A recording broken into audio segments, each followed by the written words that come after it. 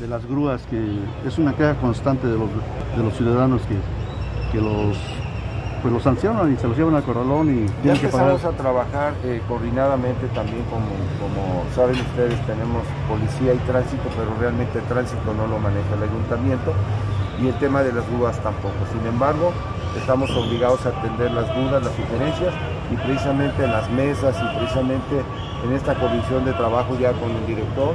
Ayer estuvimos en una reunión y pues vamos a atender todas las quejas para que nos orienten qué está pasando si si el tema son más bien los corralones, las grúas, lo que esté pasando, pues para que la gente no se sienta, digamos, desinformada o desde luego agraviada por algún cargo o alguna situación que esté generando eh, problemas en su integridad en cuanto a los vehículos, en, en cuanto a los costos también. Yo creo que hay que reglamentar el costo de las tarifas porque no queda claro cuánto te deben de cobrar por una por una, Un este. Entonces, yo creo que se tiene que regular eh, una tarifa que sea pública, que la autorice el Estado, porque sabemos que están concesionados los espacios.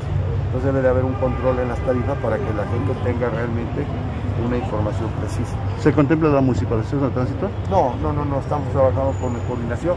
Lo que sí estamos trabajando con la Dirección de Autotransporte también y Tránsito para que podamos en su momento acordar, ahora que levante la pandemia, la actividad a todo lo que da en horarios picos, para atender escuelas, para atender la vialidad en una ciudad que desde luego necesita mucha atención de vialidad. Oye,